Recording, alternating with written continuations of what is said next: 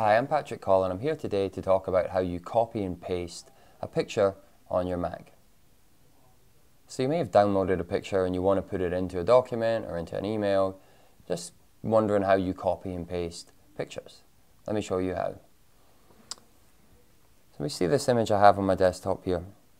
If I select it, I can do Command C would copy it. Do Command C. Could also right click on it control click and you'll see copy in this menu here. That's another way we can do it.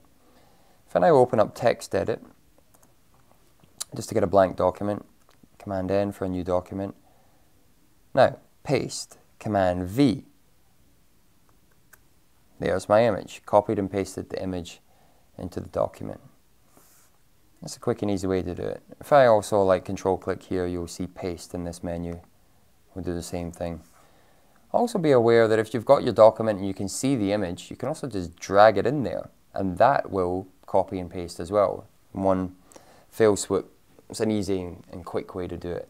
That's basically copying and pasting images on your Mac. I'm Patrick Coll. Hope this has been helpful. Thank you for watching.